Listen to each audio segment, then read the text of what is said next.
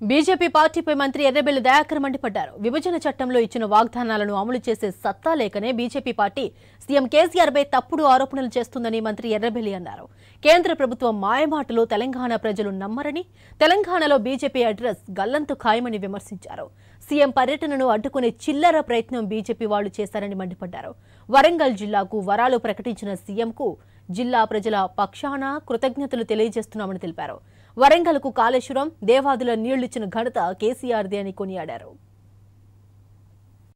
BJP కేంద్రంలో ఇచ్చిన హామీని ఒక్కటైనా నిలబెట్టుకుంటున్నదా అనేది ఒక్కసారి విశ్లేషణ చేయాలి. కాజుపేట కోచ్ ఫ్యాక్టరీ అయిపోయింది మూలపడ్డది మన ఇరవై ఏళ్ళ ముప్పై ఏళ్ళ కోరిక. వీళ్ళు ఎన్నికల మేనిఫెస్టోలో కూడా పెట్టారు. తెలంగాణ విభజనం విభజన చట్టంలో కూడా ఆ రోజు కాంగ్రెస్ ప్రభుత్వం ఇంక్లూడ్ చేశారు. దాన్ని తీసుకుపోయి గుజరాత్లో ఇచ్చేది మహారాష్ట్రలో వచ్చింది కానీ మన దగ్గర ఏమనంటే వీళ్ళు ల్యాండ్ ఇవ్వలేదంట అసలు గుజరాత్ ఇప్పుడు ల్యాండే ప్రపోజల్ చేయలేదంట. వాళ్ళ మంజూరు ఇచ్చింది. మహారాష్ట్రలో ల్యాండే ప్రపోజల్ చేయలే వాళ్ళ మంజూరు ఇచ్చింది. ఈడ వీళ్ళు పిచ్చి పిచ్చి మాటలు మాట్లాడతారు. అంటే ఎంత బోకస్ పార్టీ దయచేసి అర్థం చేసుకోండి.